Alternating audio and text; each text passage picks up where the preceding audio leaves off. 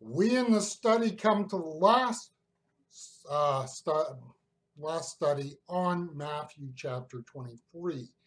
Matthew 23 is the series of ferocious attacks by Jesus on the religious establishment of his day. We will be looking at Matthew chapter 23, verses 37 to 39. And the end of this chapter, we begin a transition to a new focus in the Gospel of Matthew. Reading from the Amplified New Testament, Matthew chapter 23 and verse 37 says this O Jerusalem, Jerusalem, murdering the prophets and stoning those who are sent to you.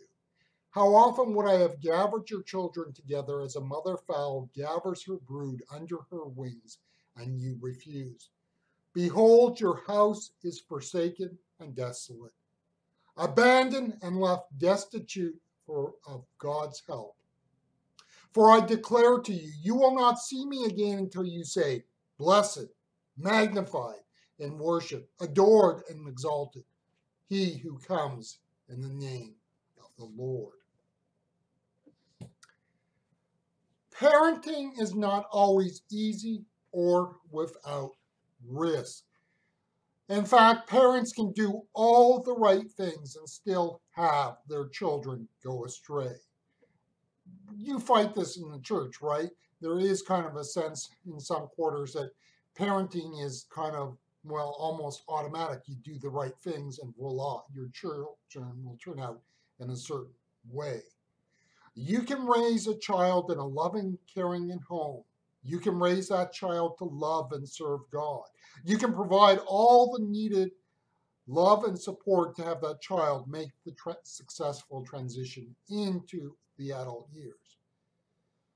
It could be sudden or it could be gradual. One day, though, it is final. Then the child announces to you and to the world that he, she is leaving what you have given to him or her, and they're leaving it behind. You are devastated and heartbroken. Your pleas are ignored. In fact, that makes things worse.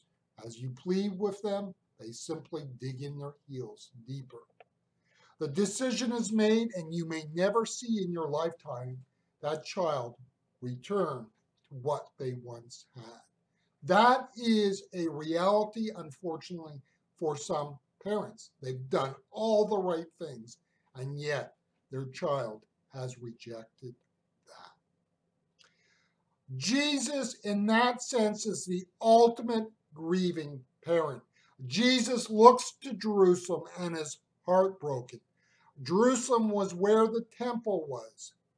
The temple was the place where God symbolically was enthroned and lived.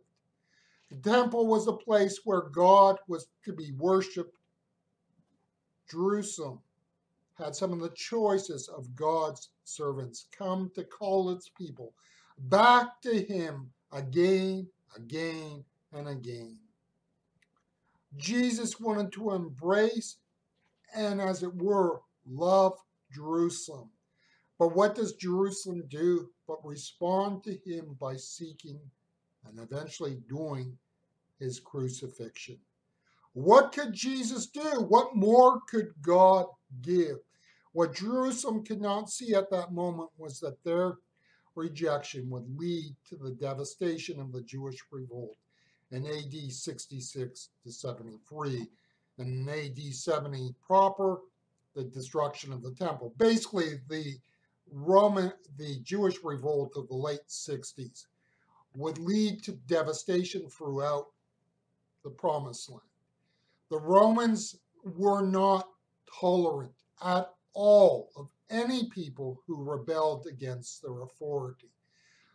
In the Roman Empire, the key was submission to their authority. And when the Jews revolted, and you know, they didn't just revolt for a time and season, they dug in their heels. The Jewish revolt can be taken to AD 73. We think of the fall of Masada as kind of one of the closing acts of this. The point is that this was inevitable once they rejected Jesus. Because it be the reality is they had no use for God. So they wanted to be seen as living for God on their own terms and not having God. It set them up for the destruction which was to come within a generation of Jesus' death. Noah is not so much God's judgment as much as the fact that they rejected God's provision. The devastating reality is that people reject what is good and noble, and we can do nothing about that. The tragedy is that there are far too many children raised in unstable and dysfunctional homes. These children often make situations, bad situations, worse by making poor moral and lifestyle choices. We often dismiss these people out of hand because of their background, as it is a case of what do you expect given where they were raised and what they were raised in. No, they are not beyond redemption and the love and mercy of Jesus. What we are talking here of is something different. The people who had all the opportunities in life and said, no, thank you. People who are willing to choose the path of self destruction and reject all that is good and noble. And we know what eventually happens. You can start with the best of the best, so to speak, and in time end up with the worst of the worst. And it becomes near impossible to get back, near impossible to undo what was done. The idea of the judgment of God is not fashionable in our world today. We want to believe you can do what you want without consequences. In our society, we want to create tolerance for all sorts of deviant behavior. And you know what? It does not work.